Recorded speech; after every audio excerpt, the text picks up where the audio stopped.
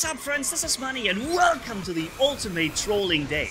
The Ultimate Spectre Hurricane Trolling Day to be more precise. There goes one, there goes another one. Full way across the map, not just halfway. Here goes another one, pop!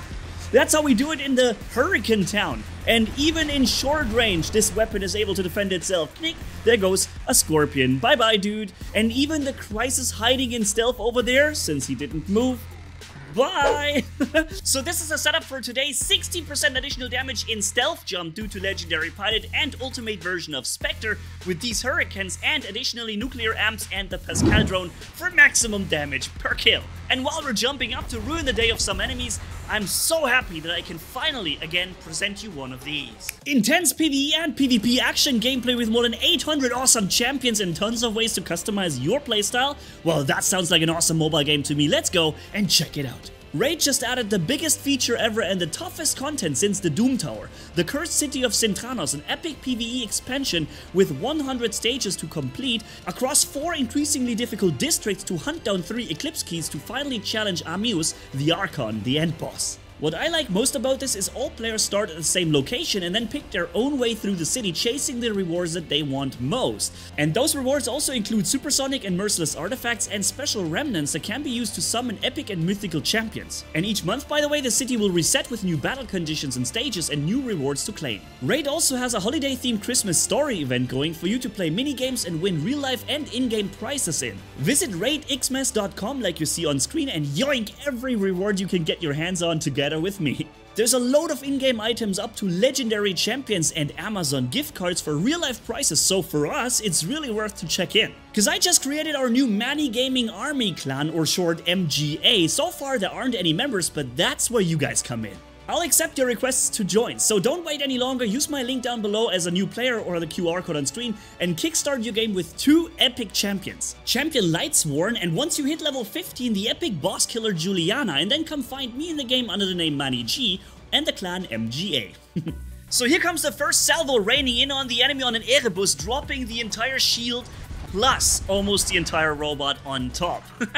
this next shot however unfortunately doesn't hit because he's actually hiding in cover. But this is where the Hurricane's awesome trajectory comes in, because we can bypass that by making a smart jump and firing it from another direction. Just look how they aim in from the left angle now, bypassing whatever cover he may have found over there and basically killing him. And you see there's a crisis and I know he's gonna shoot me, so I'm waiting for the moment when he tries to, drops his stealth, I activate my stealth jump immediately, and even if he hadn't been hit before, he would have died instantly from this many rockets, because those hurricanes deal a tremendous amount of damage, um, especially coming from four heavy over amplified Ultimate Spectre shots, right?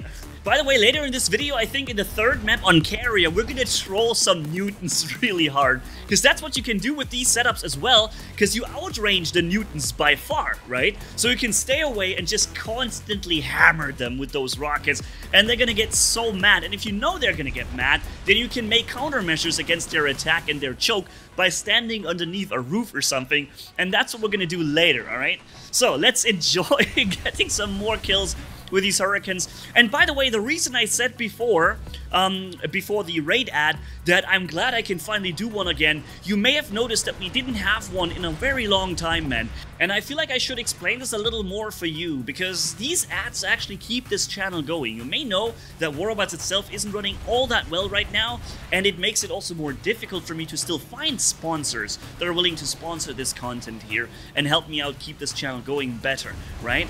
Um, and so I'm really happy and excited that Raid has responsored us and that's also why I would really like you guys to try out the game and use the link down below because every install using this link is being tracked as a successful install and used as a verification as to whether or not they're going to rebook me maybe next month, right? And uh, since this is really important, maybe you could give it a try and see if this game is maybe fun for you. Because I personally am really having fun logging in, doing some awesome AFK arena battles with there, uh, with auto mode and try and figure out a nice strategy on how to beat uh, a stage. And they also bring up all the always new stuff that is really interesting to try and compete against. Even though sometimes I'm not even powerful enough with my champions to do that yet, I probably have to level them up first some more. Uh, but yeah, so I thought I'd mention it and ask for you guys' help, and maybe let's see, maybe I can produce another one for next month or so. I'd be happy anyways. Um, and I also I hope correct me if I'm wrong, please, ladies and gents. I'm uh, here for your feedback too. Uh, I've hopefully I've never spammed you with any of that, right? I've always tried to make it sporadically enough so that it's always a nice thing in between, but not getting out of control or running too much. Yeah, so let's keep going. And uh, look at this guy, boop, and he's gone. He didn't. He, he, had no chance other than literally sitting behind the building, not to try and get killed. And uh, that is something with the yellow shield, a Dagon maybe.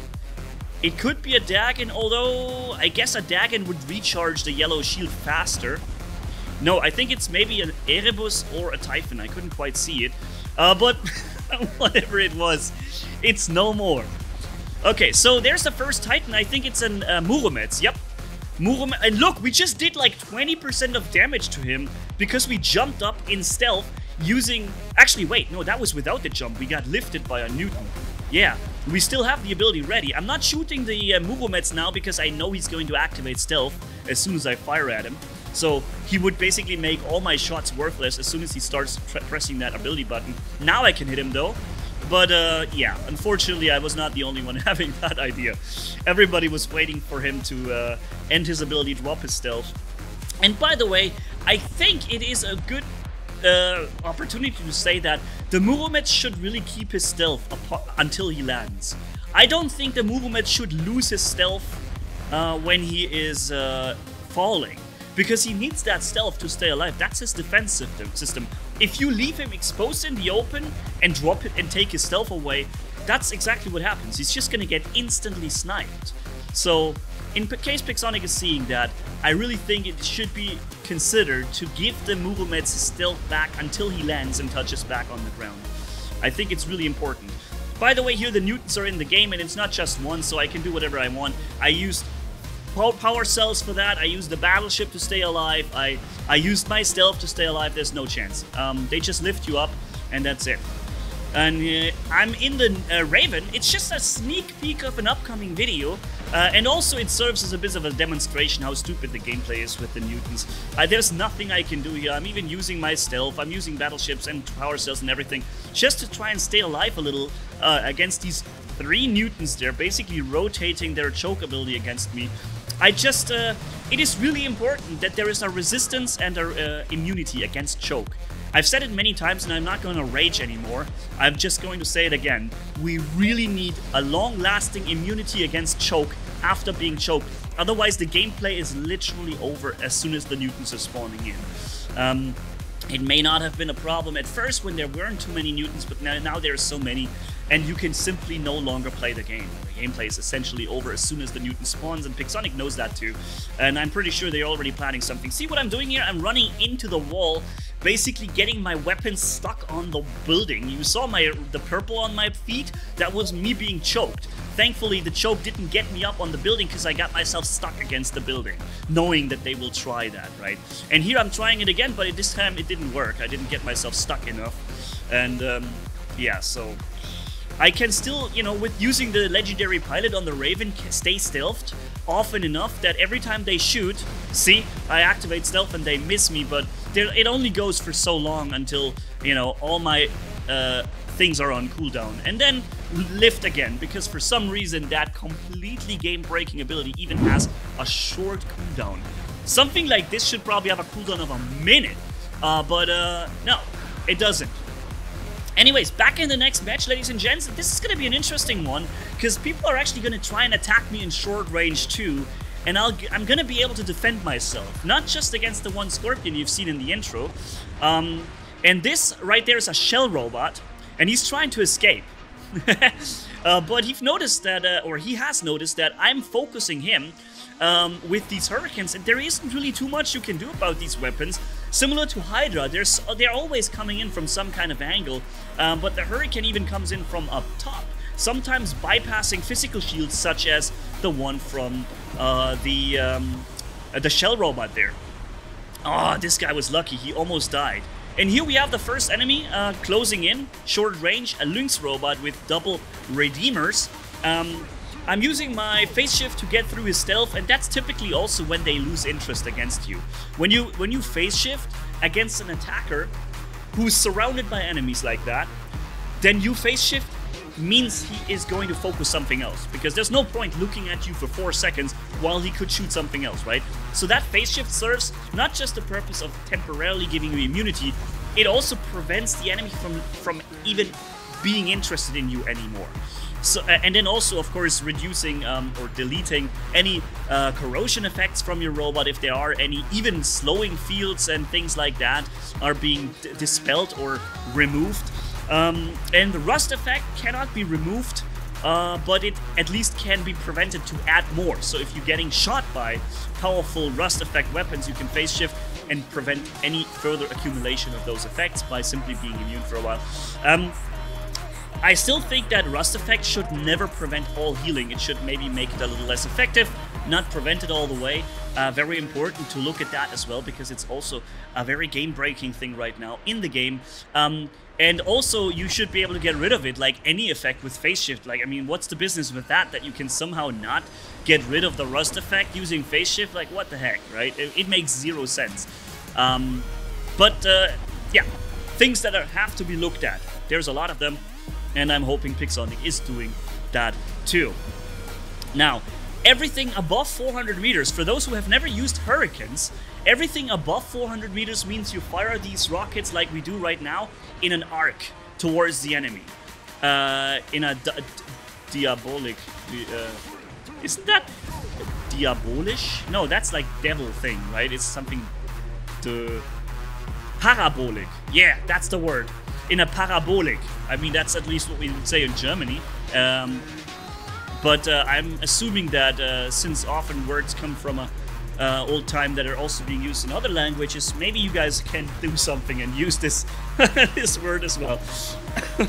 but yeah, that's uh, how it fires when you fire over 500 meters.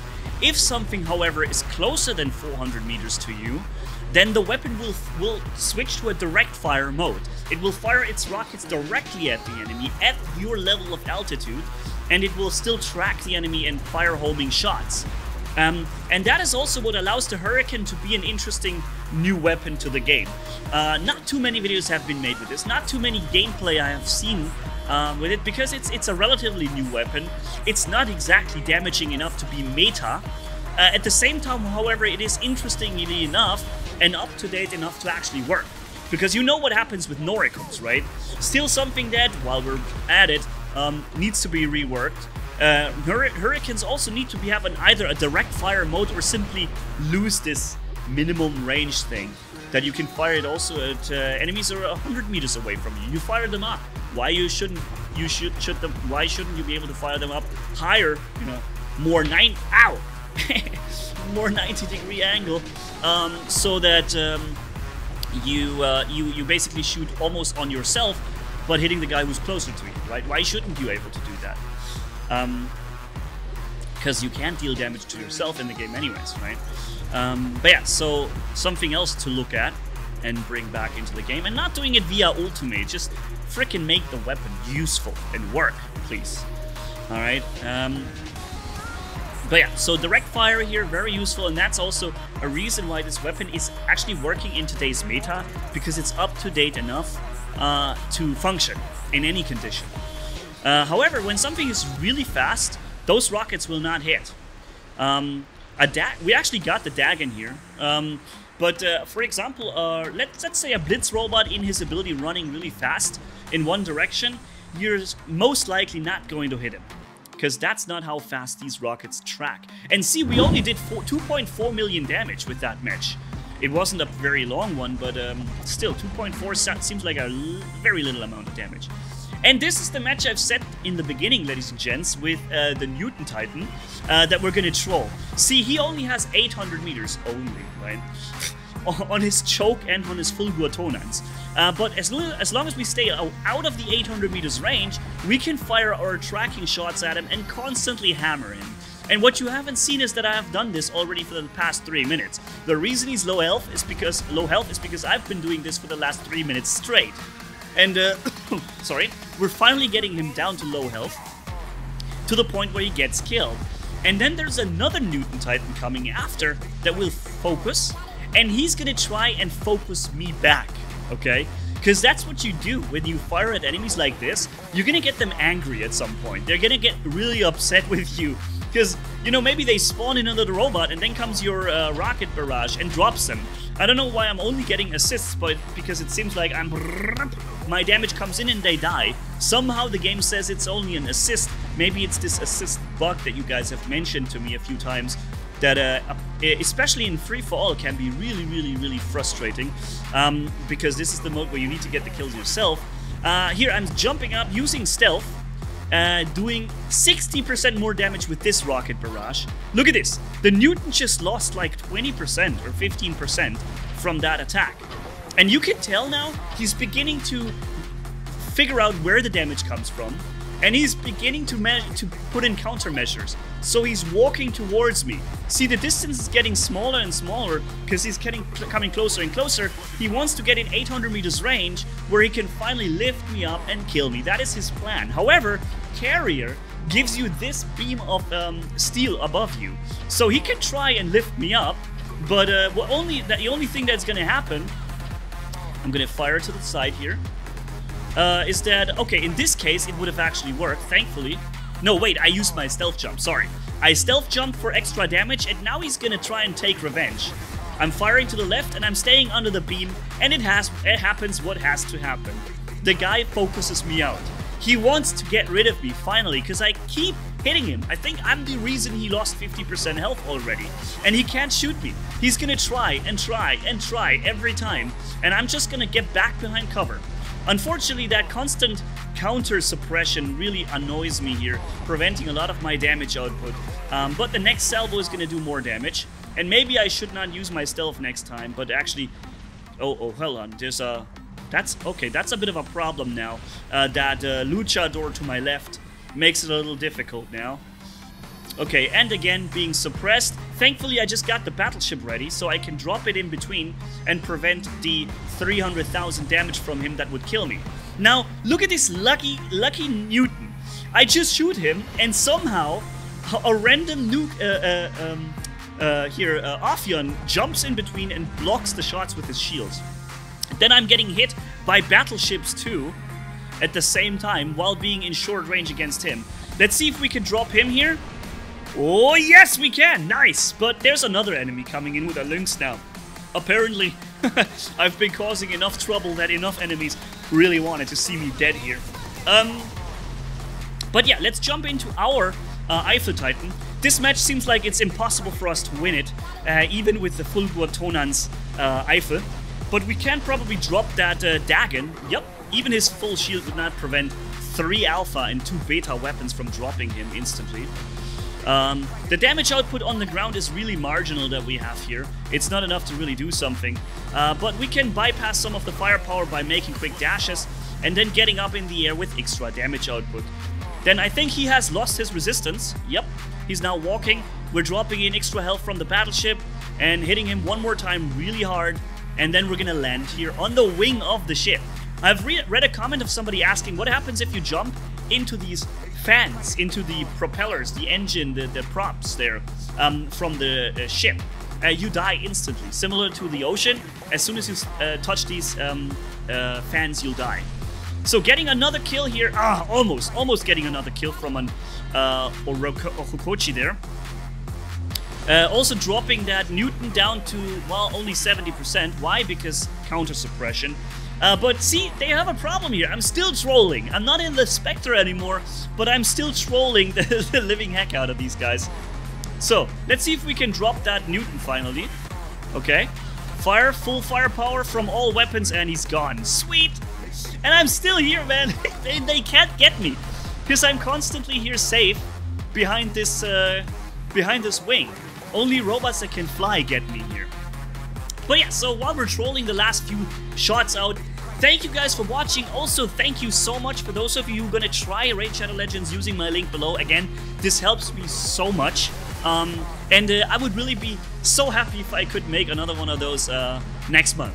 Mm, with your help, that would be definitely possible. And uh, thank you for watching. Catch you in the next video. Manni signing off. Bye bye,